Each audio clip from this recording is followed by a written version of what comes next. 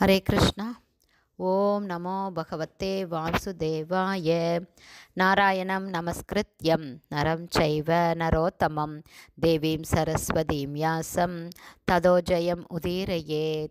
நஷ்டப்பிராயேஷு அபத்ரேஷு நித்யம் பாகவத சேவையாம் பகவதி உத்தமஸ்லோகே பக்திர்பவதி நைஷ்டகி முகம் கரோதி வாச்சாலம் பங்கும் லங்காய தே யத்கிருபா தமகம் வந்தே ஸ்ரீகுரும் தீனதாரிணம் பரமானந்த மாதவம் ஸ்ரீ சைத்தன்ய ஈஸ்வரம் ஹரே கிருஷ்ணா ஸ்ரீமத் பாகவதம் ஸ்கந்தம் ஏழு அத்தியாயம் ஐந்து இரண்ய கஷ்புவின் தெய்வ புதல்வரான பக்த பிரகலாத அதன் எண்ணம் தலைப்பில் பதங்கள் ஐம்பத்தி ஆறு ஐம்பத்தி ஏழு.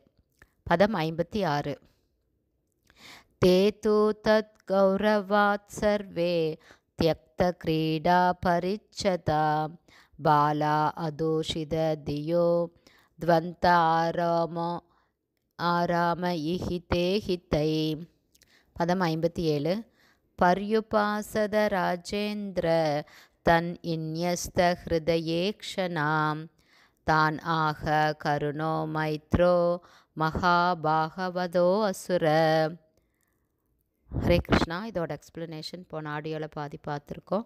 பேலன்ஸ் இப்போ பார்க்கலாம். பர்பட் பை ஷில பிரபுபாத் ஜெய் ஷில பிரபுபாத் அந்த சிறுவர்கள் இளம் வயதினராக இருந்ததால் அவர்களுடைய தந்தைகளைப் போல அவர்கள் பௌதீக வாழ்வினால் களங்கமடைந்தவர்களாக இருக்கவில்லை என்பதையே பாலா அதோஷித தியா என்ற சொற்கள் இந்த ஸ்லோகத்தில் சுட்டிக்காட்டுகின்றன. ஆகவே தமது வகுப்பறை தோழர்களின் கள்ளங்கபடமற்ற தன்மையை பயன்படுத்தி கொண்ட பிரகலாத மகாராஜா ஆன்மீக வாழ்வின் முக்கியத்துவத்தை பற்றியும் பௌதீக வாழ்வின் தீமையை பற்றியும் அவர்களுக்கு போதிக்க துவங்கினார்.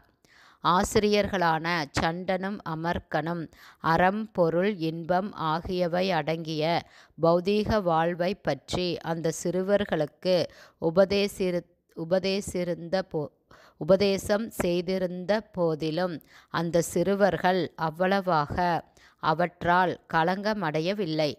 ஆகவே அவர்கள் கிருஷ்ண உணர்வை பற்றி மிகவும் கவனமாக பிரகலாத மகாராஜனிடமிருந்து கேட்க விரும்பினார்கள். எமது கிருஷ்ண பக்தி இயக்கத்தில் குருகுலம் மிக மிக முக்கியமான ஒரு பங்கை வகிக்கிறது. ஏனென்றால் குருகுலத்தில் சிறுவர்களுக்கு இளம் வயதிலிருந்தே கிருஷ்ண உணர்வை பற்றி போதிக்கப்படுகிறது.